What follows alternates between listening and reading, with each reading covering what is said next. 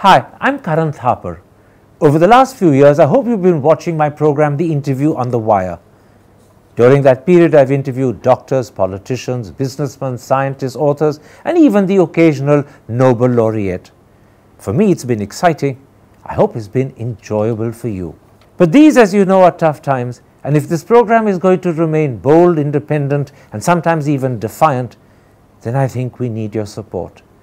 At the end of the day, it's a truism, but editorial independence is best defended by the viewers. So if you would like this program to remain the way it is, forthright, outspoken, and interesting, then would you consider supporting us? All you have to do is to click on the description at the bottom. But more than anything else, I hope you will continue to watch the interview. Your viewership means an awful lot to me. Thank you for your time. Goodbye.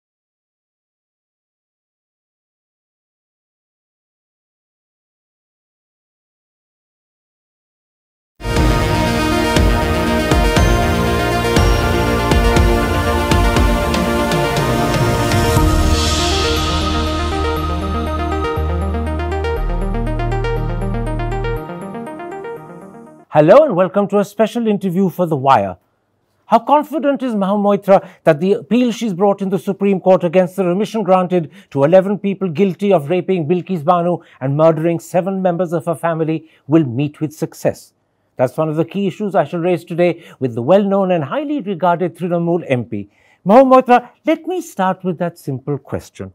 Why did you appeal to the Supreme Court against the remission granted to 11 people guilty of raping Bilkis Bano and murdering seven members of her family when the same Supreme Court is the entity that actually set in motion the remission process with several questionable decisions. Uh, Karan, right up front, first, thank you for having me here. And uh, right up front, I'd just like to put out a caveat that I am a petitioner in the court currently. The case is sub judice, so I, it would be very inappropriate for me to to sort of comment on the some of the judicial aspects of it. So I will try and keep it completely to the petition and what has prompted me to file it, rather than uh, remark on some technicalities which may not be appropriate. I'm not asking you to comment right. on the judicial aspects. I'm asking right. you where does your confidence come right. that the very yes. court that set in motion the process of remission with highly questionable decisions can grant you success in your appeal? Um, I'm going to make, I'm going to answer that very con concisely. Number one, this is not an appeal. Colloquially, you might call it an appeal. Uh, when you have a, a case like this, uh, you, you can go to the Supreme Court under its appellate jurisdiction. So you can ask for a review petition, which technically Bilkis, the CBI or the state government can do.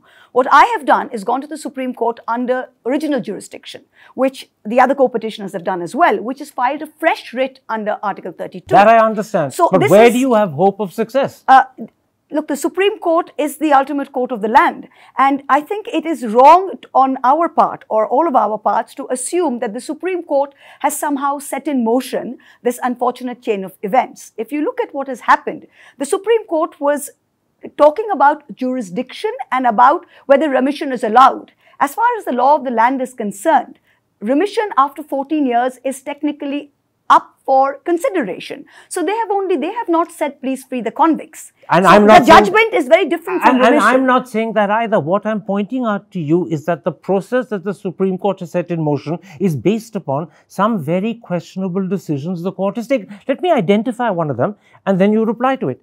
Perhaps the most controversial and the questionable decision that the Supreme Court has taken is that remission should be heard in Gujarat. That is a clear breach of section 4327b of the criminal procedure code which explicitly says that in fact remission must be heard in the state where the offender was sentenced. What the supreme court has done by permitting gujarat to hear it is to turn the law of the land on its head which is why i ask why then are you confident that the court that has clearly made an error will find in your favor in the end? I think um, I disagree completely with this line of reasoning.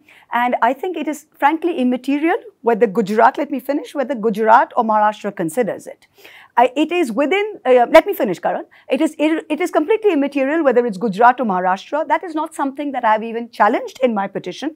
There is nothing to say that the that uh, Maharashtra would have come up with a perfect decision. It is not the question of, ju of jurisdiction. I think the Supreme Court has interpreted interpreted that the that Gujarat was within its rights to look at it, and that is something they're entitled to do.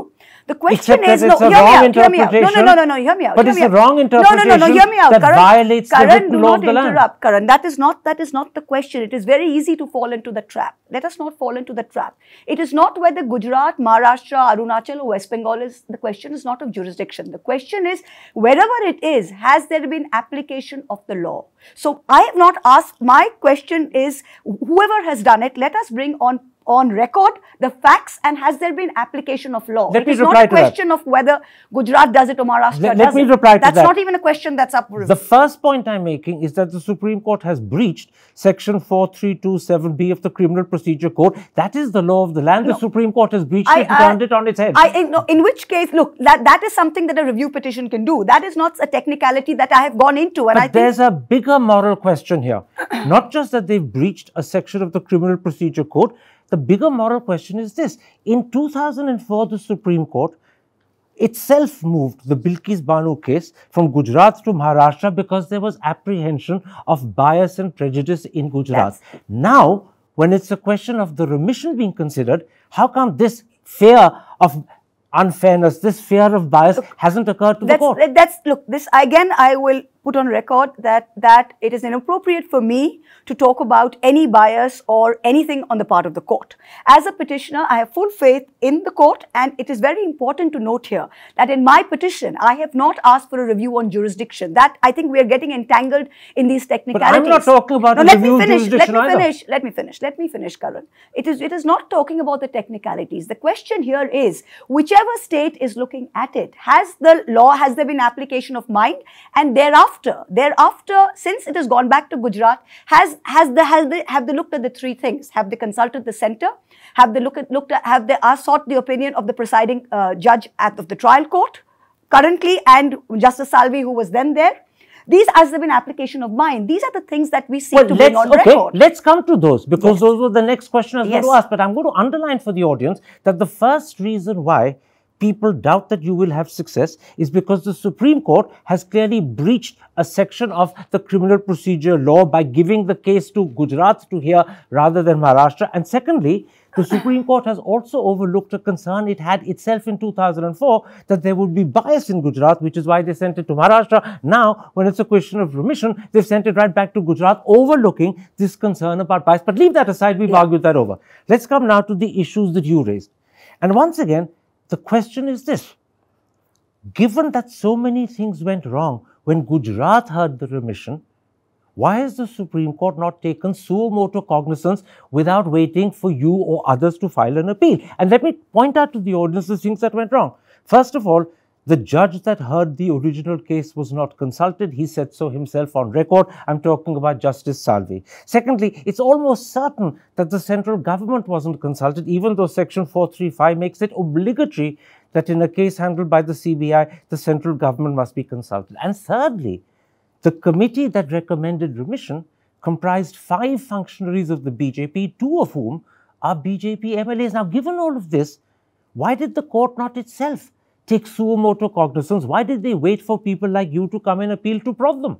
Look, Karan, I think again, I think you're doing the entire cause a disservice by pointing the finger at the Supreme Court. The Supreme, I am not here, I'm a petitioner in the Supreme Court on this particular case. Hear me out. I am I'm not here, interrupting. Go no, no. I'm not here to sort of point fingers at the court. I leave, I have petitioned the court as a public servant, as a person who, as a woman, as an elected representative in this land, and I don't think this fight is Bilkis's alone.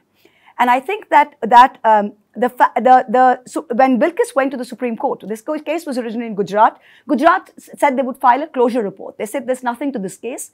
Bilkis went to the Supreme Court. The Supreme Court, in its wisdom, moved this to a special CBI court in the case of Maharashtra, in the state of Maharashtra. They were convicted. They did not appeal. When they, they went to the Bombay High Court, the Bombay High Court judgment is a scathing judgment. They upheld the CBI court's judgment, right? In 2019, when it went to the Supreme Court, Justice Deepak Gupta was a bench of three that awarded exemplary compensation of 50 lakhs to Bilkis But- but and said none the of that's in government doubt. should give me a None job. of that's in doubt. But that's not so- questioning so, it. I don't think there is anything as far as yes, it would have been good if they had taken suo motu cognizance. Precisely my question. Why That's- didn't but, they? But but you have to understand they were released on the 15th of August. We went to court on the 22nd. Even the remission order has not even the reason people can ask why is Bilkis not gone to court? Why has the CBI not gone to court, Karan? Just even the remission order has not been you uploaded. went you went to court a week after the remission Yes, happened. and the the Supreme court Court, has has often notice. the Supreme Court has often responded faster when things are in the press because they are matters of urgent concern. And I'm be- pointing out to you it that may so be, it many would things been went wrong. Why did the Supreme Court not take I cannot suo motu cognizance? Look, I cannot that would have answer. I. I could not. I cannot answer on the on behalf of what the Supreme Court should or should not have done. It is not my locus to do that. As a petitioner, I am before the Supreme Court. I have petitioned the Supreme Court. The Supreme Court has issued notice on our petition and given a date for ten days. Let me I think within the framework of what is allowed, I think that is an as good an outcome as we can ask. Once again, there is a moral issue here as well.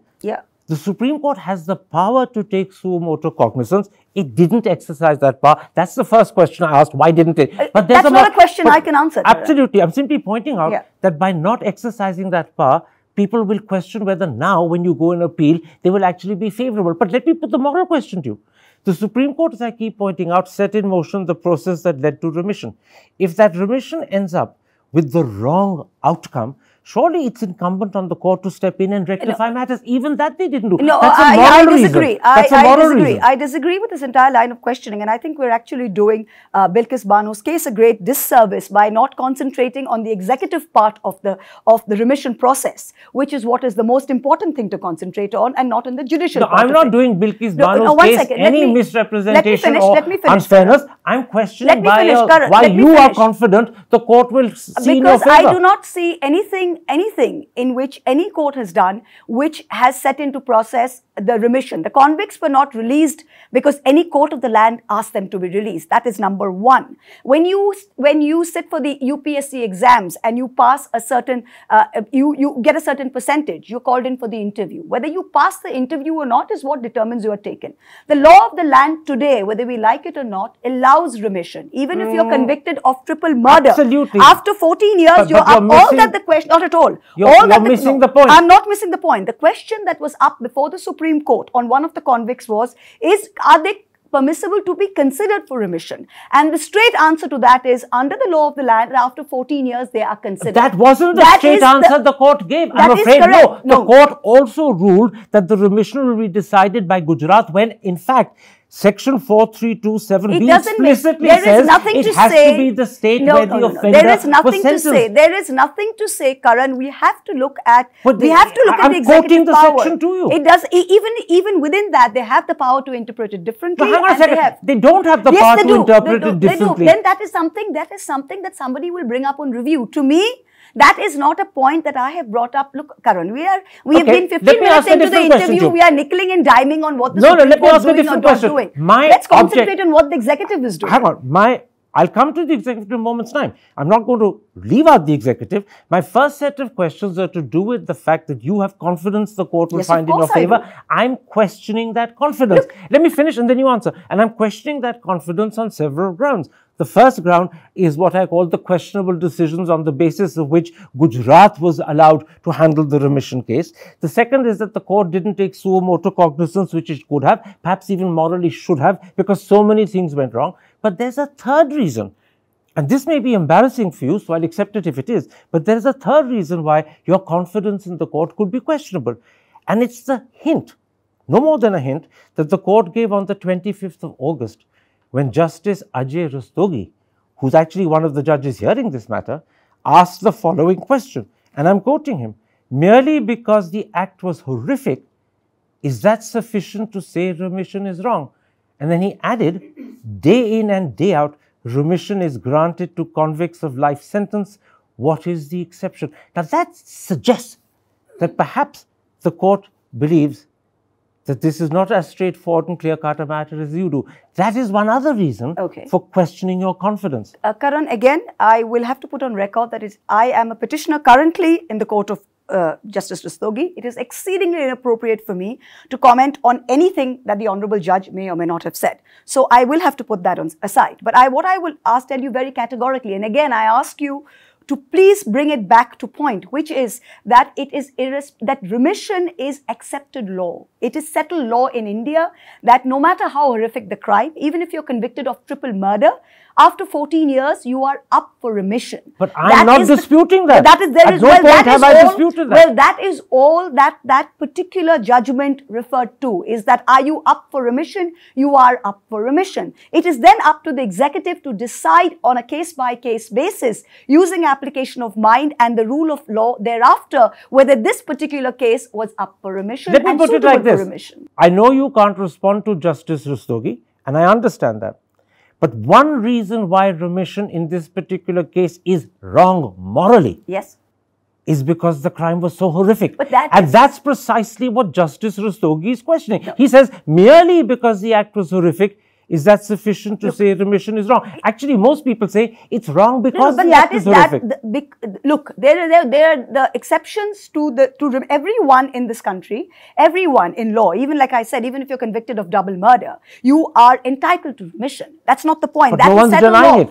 That that's well, that is all the limited point that the court has made. Please understand. the Uh, court, I'm not that sure is- that's no, the that- limited that is point. the limited point. In which case, it was very Look, ineptly I- made, if I can no, use no, that no, word. I cannot again, Karan. I would really earnestly urge you not to tread along that line of questioning Okay, at all. let me put it like this. Let's wrap up this section and I'll come to the executive moments time. But I've given the audience and you three, four reasons why confidence that the court will find in your favor is questionable. You don't believe it's questionable. Am I right? You have full faith the court will find Look, in your what favor. What is my petition? You have to see what the limited purview of my petition is. I have not filed this. It's not a review petition.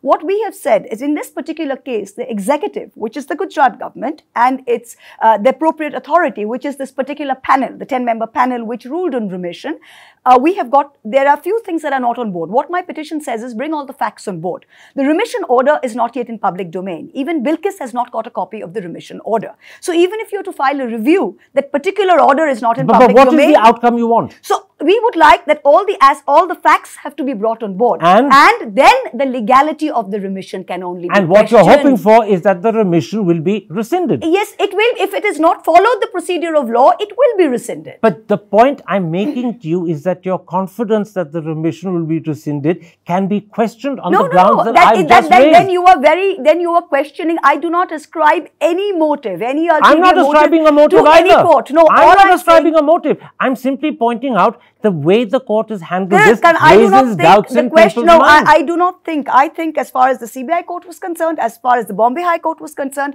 and as far as the Supreme I'm Court was concerned. the Supreme Court. No, even the Supreme Court, I think in 19 awarded exemplary punishment to Bilkis Bano. It has issued notice but in our I'm talking about what the Supreme Court did in May in when the they Supreme decided that the remission ruling, will be was- handled they by were Gujarat. ruling on the limited, like I said. Let us not harp Okay. on what the Supreme Court done has done or not done. The question is whether hereafter, whether the executive, the Gujarat government, has done things according to the law, and that is what we need Let's right then now come to to the executive, and the executive I want to talk to you about is in fact the central government. Right.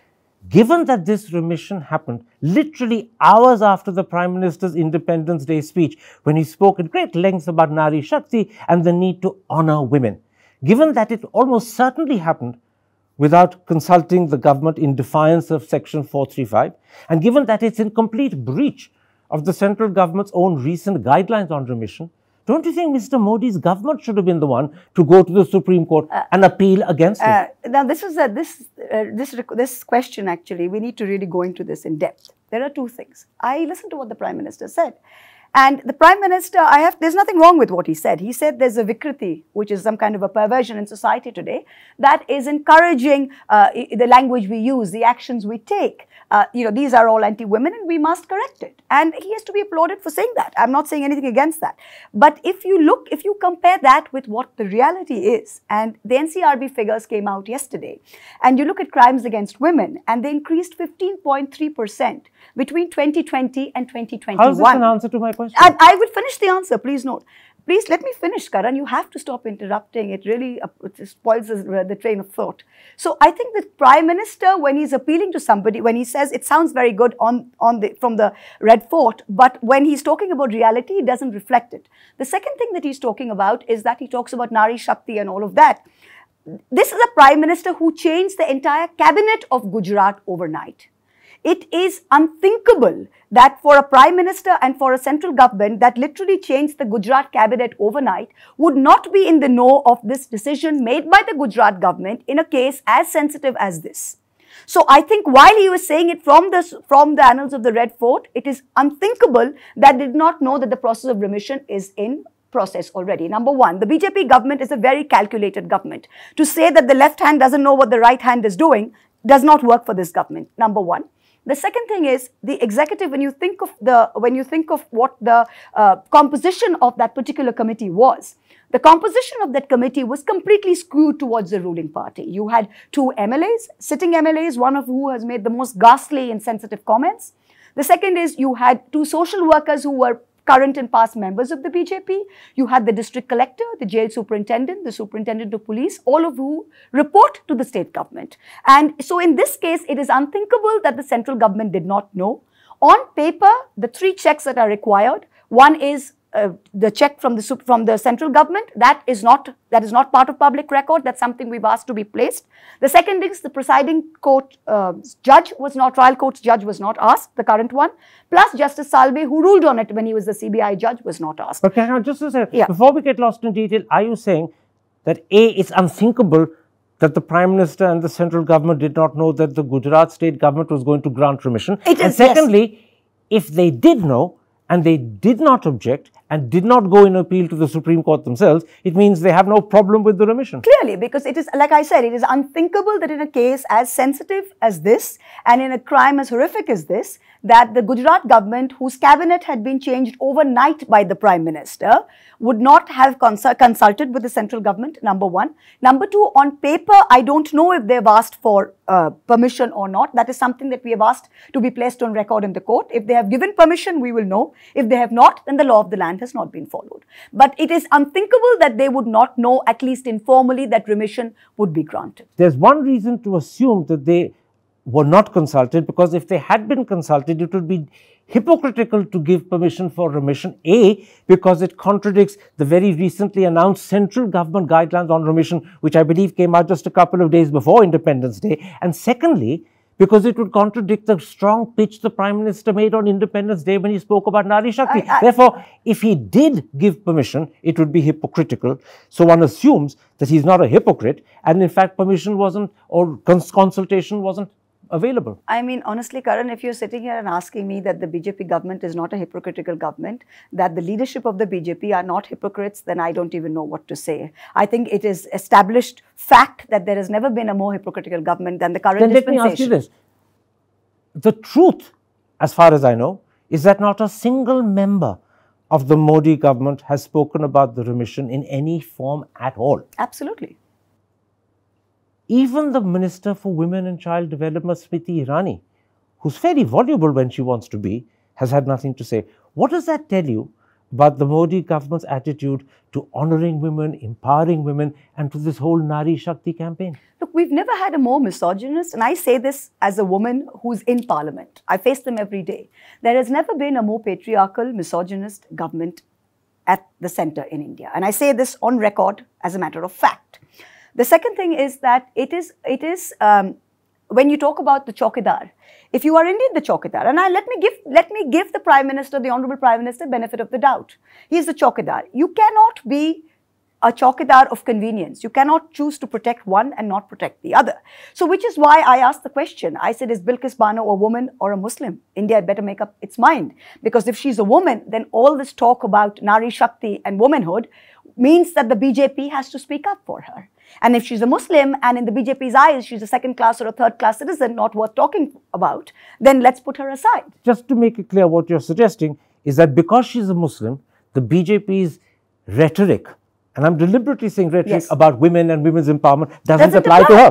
Absolutely, it just doesn't apply here. This is this is electoral convenience. It's the politics of convenience. I mean, if you look at the honourable minister that you that you just mentioned, just about three weeks ago during the monsoon session, there was an incident where I think uh, the leader of the Congress, the leader of the uh, the Congress, uh, Mr. Chaudhary, had said something about Rashtrapatni instead of Rashtrapati, and that is something. Being a Bengali speaker, that's a that's a mistake that can happen with anybody. They were shouting and screaming and you know all about how he's insulted Nari Shakti for one little slip of the tongue, shouting, screaming histrionics of the first order. And for something as important as this, there is nobody that has stood up from the BJP. And it's all because she's a Muslim. Uh, I think it's it's because it doesn't suit their it doesn't suit their that could be very well be part of it. I think it's part of it. I'm not saying it, but I think it's very well part of it because if she were only a woman, then how does it fit into their Nari Shakti uh, rhetoric? It Now, doesn't. when the convicts were released, they were welcomed with garlands and laddus. One of the members of the revision committee actually said they were Brahmins with good sanskar. right. What sort of message does that send Bilkis Bano? And what sort of message does it send the women of India? Look, I think the fact that they were released, um, uh, there is a remission policy in place. Now, had, had they just been released, we could have gone and said, bring the facts on board. There has been non application of mind. In this particular case, there can be no wholesale remission of all 11 convicts. Now, please understand it is necessary to reiterate the gravity of these crimes. Bilkis Bano was raped 22 times. Her mother was raped, her two sisters were raped. 14 members in total were killed, seven of her own family, including her three year old child, whose head was smashed, whose body was never found. There were, the bodies were thrown in a ravine. Seven bodies were, uh, five bodies were recovered and they had been decapitated. So not only had they, the Bombay High Court judgment lays out very clearly that not only had they been murdered, they had been decapitated. So these were not crimes that were normal crimes. These were obviously well thought out, premeditated. The Bombay High Court judgment calls it a massacre. Please understand. These are the crimes we're looking at. When these men come out, This we're is not the reason why remission is so which singularly is which inappropriate. is inappropriate and which is why we are questioning for all the facts of the remission to be brought on record that the Supreme Court can then judge if any illegality was done and if the remission will be I won't That go into that petition. debate again, but Yes. this is also why Justice Rastogi's question is so disturbing. But leave that aside. So, so, so when these horrific When they come out. are welcomed with laddus They are and called. Brahmins They and are- felicitated, They are, what does it tell us? It like Bilkis says that she says, you know, this is is this how? That's a very poignant thing she said. She said, "Is this how justice supposed to end?" And that that one line I think touched me more than anything else. I said Bilkis fought for. She got justice 2002. It happened. Now 17 years she fought. Her final compensation came in 2019.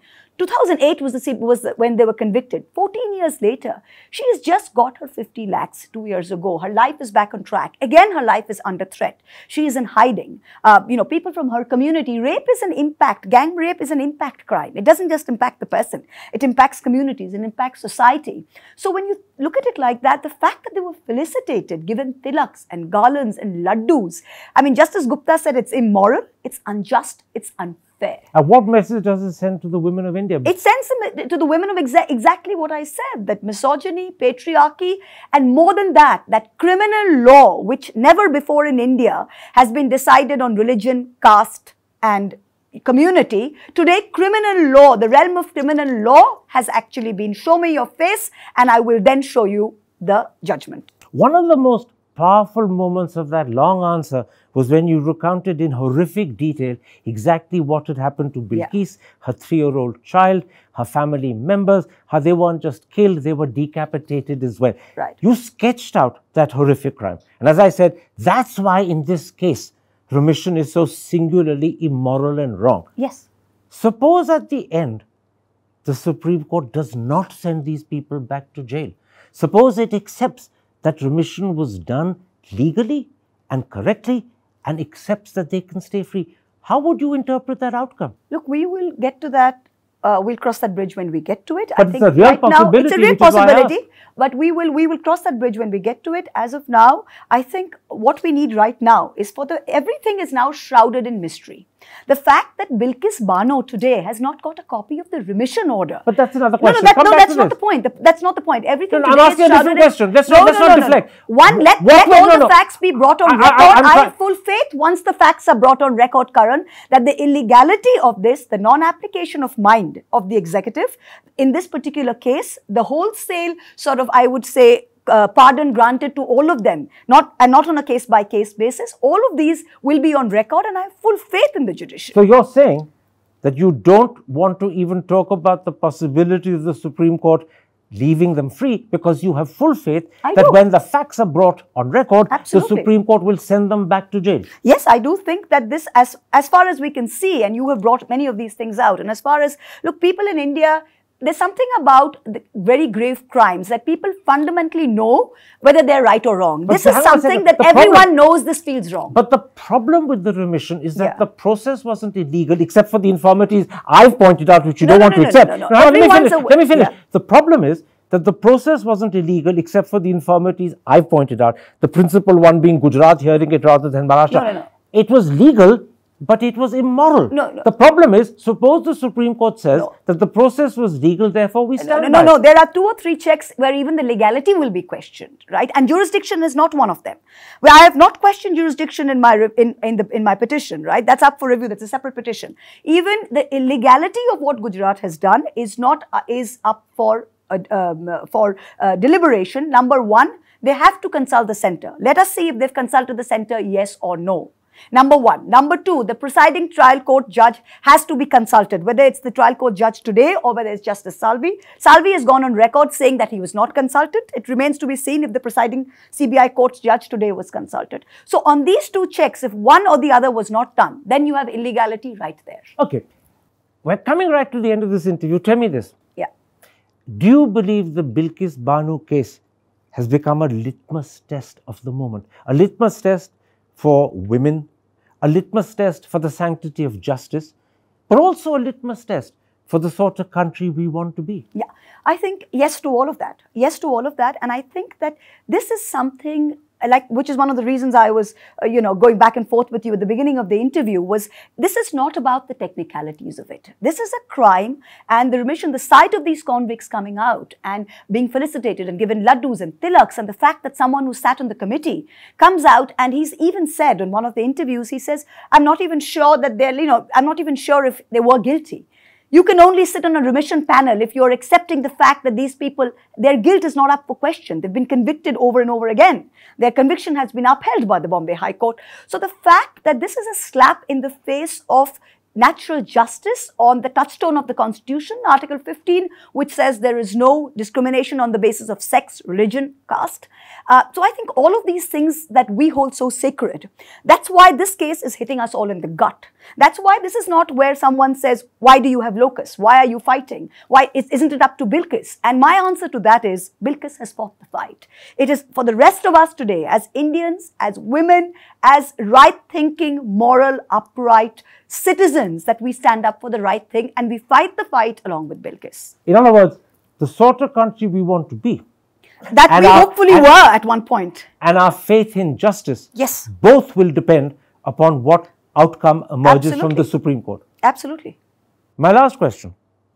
A recent report on the BBC on the Bilkis Bano remission had voices abroad asking a critical question Has rape been normalized in India? Rape has been weaponized in India. In the last five years, five to seven years, rape has been weaponized in India. Like I said, it's an impact crime. Rape is not just about the victim who's been raped, it's about the community. So rape is largely being used and the whataboutery, if even if you see on social media and you see the language that is coming out of the right wing, it is the whataboutery suggesting uh, um, sort of surrounding rape and crimes against women is uh, like I said, there's a moral spectrum. But the ease with which this remission happened, has that normalized rape or does it suggest the normalization of It rape? suggests not only the normalization of gang rape, please understand the question in this particular case, it was not just gang rape, it was murder. These each of these men have been convicted of not just one, but two or three counts of murder. and the remission suggests the normalization both of- of gang rape and murder. Uh, uh, not only that, what it suggests, the normalization, like I said, a remission policy exists. Every criminal is entitled to remission and the, it has to be decided on a case by case basis in accordance with the law. The question is, what is normalization is when they come out and they are being felicitated with garlands and laddus. I think that sight, more than anything else, is in the kick in the gut to all of us. So you agree with those voices on the BBC? They were raising an yes, issue of of, course, it's great not concern. only normalization, like I said, it's weaponization. Mahua Moitra, thank you very much Thank for you. talking to me. Thank you. Hi, I'm Karan Thapar. Over the last few years, I hope you've been watching my program, The Interview on the Wire. During that period, I've interviewed doctors, politicians, businessmen, scientists, authors, and even the occasional Nobel laureate. For me, it's been exciting. I hope it's been enjoyable for you. But these, as you know, are tough times, and if this program is going to remain bold, independent, and sometimes even defiant, then I think we need your support. At the end of the day, it's a truism, but editorial independence is best defended by the viewers. So if you would like this program to remain the way it is, forthright, outspoken, and interesting, then would you consider supporting us? All you have to do is to click on the description at the bottom. But more than anything else, I hope you will continue to watch the interview. Your viewership means an awful lot to me. Thank you for your time. Goodbye.